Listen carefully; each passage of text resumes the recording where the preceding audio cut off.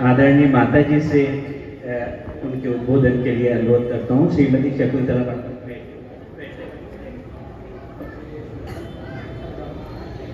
श्री श्री 108 बड़े दादाजी के चरणों में साष्टांग प्रणाम। जगत मंगली माँ नर्मदा माता अवतर श्री भोलेनाथ सहित माँ भवानी अम्बे माँ को मैं सादर प्रणाम करती हूँ। माँ अम्बे का यह नवरात्रि पर्व हम सभी को उत्साहित करके भक्ति भाव से अपनी अपनी सामर्थ्य के अनुसार भजन पूजन और वंदना का अवसर देता है। श्री श्री धोनी मैया श्री अखंड कुंज में विराजमान सारी देव शक्तियों को भी मेरा सादर सादर प्रणाम है।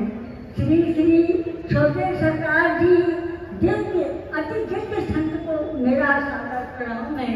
इन पर्वमय दिनों में मुझे श्री छोटे सरकार जी के सानिध्य में वंदना करने का अवसर मिला। यह मैं गुरु कृपा को ही मानती हूँ। मैं साधारण सी गृहस्थ नारी हूँ, पर मेरे पिताजी व मेरे पति श्री का परिवार, श्री ईश्वर की कृपा और श्री दादा दरबार साईं खेड़ा से जुड़ा हुआ था। अतः मुझे खंडवा रहने का अवसर प्राप्त हुआ।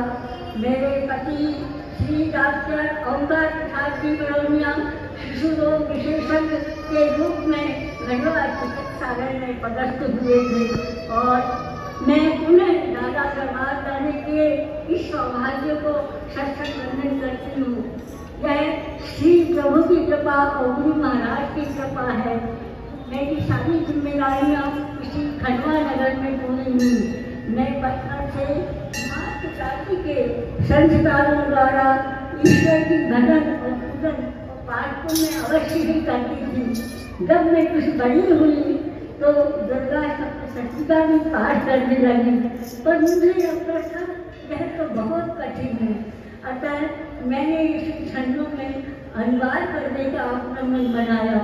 माँ की कृपा से यह कार्य पूर्ण हुआ आदरणीय भाइयों, आदरणीय बहनों, ना तो मैं ज्ञानी हूँ, ना मैं कोई विद्वता वाली बात जानती हूँ, पर ये सारी रचनाएँ जो है मेरी भाव प्रभाव की हैं। प्रवाह की हैं? मैं भाव में कहते ही ये सारी रचना करती रही ये शब्द जो मेरे कंठ और जीव पर आए, वह सब इस कोरे कागज़ पर उतारे गए।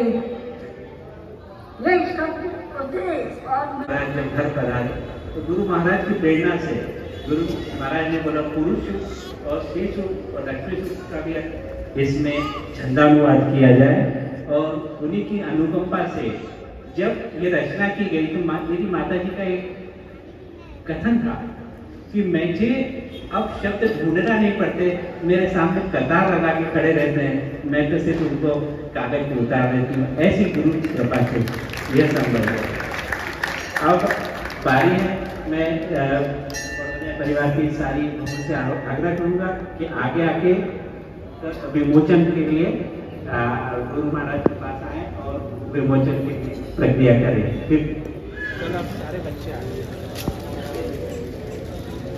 आगे आ जाओ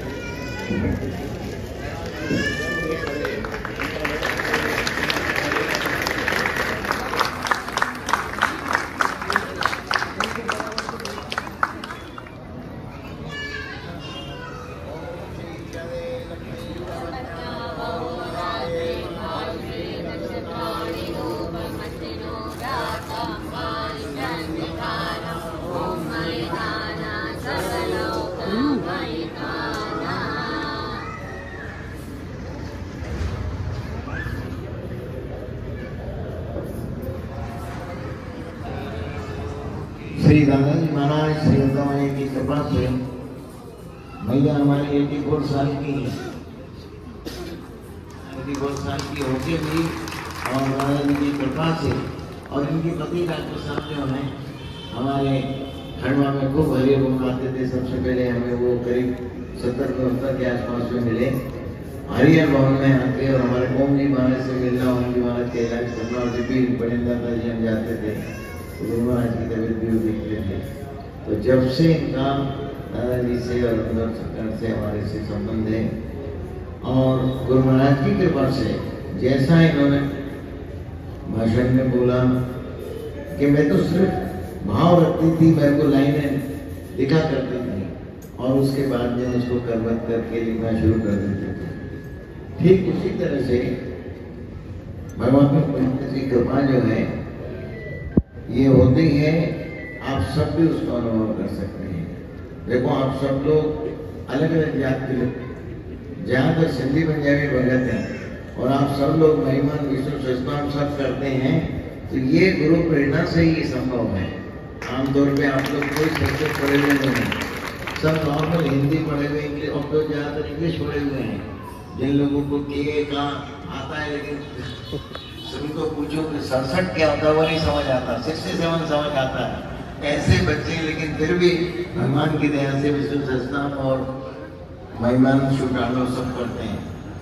मैया ने जिस तरह से प्रयास किया है, दुर्गा सप्तती का, श्री शुभ का विष्णु सस्नाम का, अपना पुरुष शुभ का, शिव शुभ का, वो एक ऐसा प्रयास है कि जो इस युग में ज़रूरी था।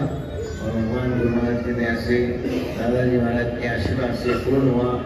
क्योंकि इनका संबंध साई खेड़ा से, इनके जो पूर्वज थे साई खेड़ा के हैं, इनका जो उद्गम स्थान है साई खेड़ा है, और दादाजी की भी जो लीला स्थली है वो साई खेड़ा है। और गुरु महाराज की समाधि और उनके स्थान जो है, खंडवा है, वहाँ भी इनके पिता पति रहे और वहाँ सुरेश्वर है वहाँ भी परसों रहे। ये हमारे तीनों भाई लोग, खंडवा में वहीं भर्ती करी है इन्होंने। और गुरु महाराज की दया से फिर वहाँ से इंदौर बस गए। वहाँ भी दादाजी का स्थान है, दादाजी जुड़े रहे ऐसी तीनों स्थानों से इनको ऐसी प्रेरणा मिली, उस प्रेरणा के लिए हम दादाजी महाराज से प्रार्थना करते हैं कि उनकी दया उस परिवार पर बनी रहे और दादाजी के परिवार इनकी ऊपर जैसी कृपा है, जैसे इनको इसका पुस्तक लिखने के लिए बुद्धि, सदबुद्धि दादाजी महाराज की कृपा से हुई है। वैसे इनके परिवार में भी एक दिन जहाँ पर ऐसा ही आगे अगली पीढ़ी में भी ये आशीर्वाद दादाजी महाराज प्रदान करें। इसी के साथ क्योंकि भी आरती होना है हवन भी होना है। इसीलिए हम अपने वाले विराम देते हैं। और महिलाओं को साधुवाद करते हुए आप सब लोगों को और किताब के विभाजन के लिए भगवान गुरु महाराज की जो कृपा हुई है उस कृपा की दृष्टि इस पूरे परिवार पर बनी रहे। और जो प्रेरणा का स्रोत बन के इनको किताब लिखने की प्रेरणा मिली है, वैसे इनके परिवार में और भी दो जनों को प्रेरणा आगे बनी रहे इसी भावना के साथ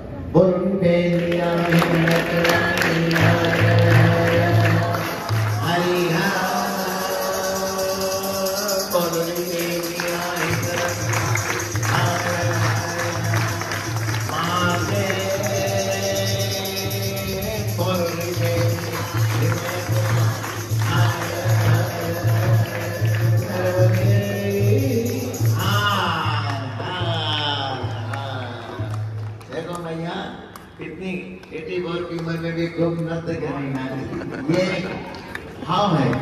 और ये भाव गुरु नानक की दया से उनकी कृपा से संभव हुआ है, उनकी कृपा बनी रहे पूरे